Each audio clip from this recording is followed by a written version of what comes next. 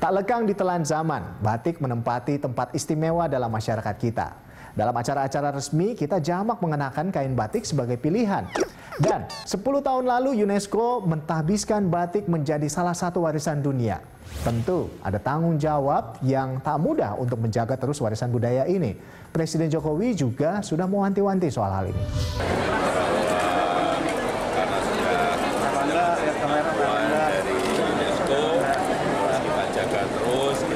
I, I, I think it's over.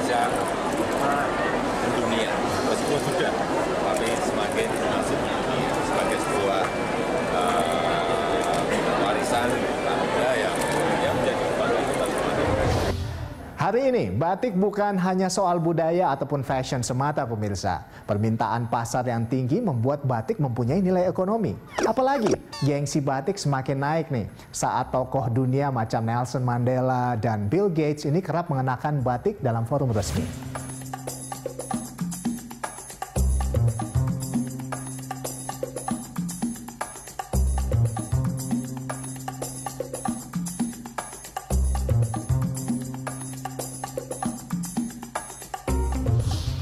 Sebagai industri, dalam semester 1 2019 nilai ekspor batik mencapai 18 juta dolar Amerika Serikat.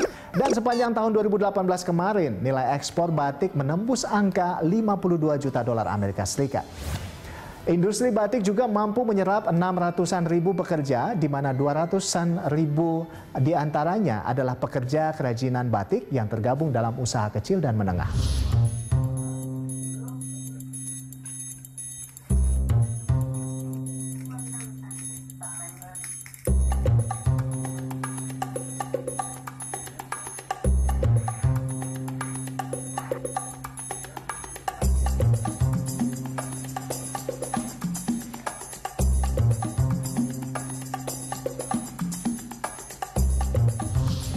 Tingginya permintaan pasar menjadi PR tersendiri bagi pemerintah dan pelaku industri.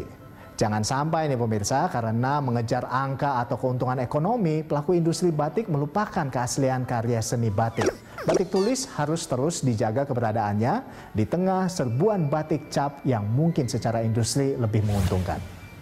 Begitu juga soal regenerasi perajin batik. Pemerintah perlu campur tangan di sini.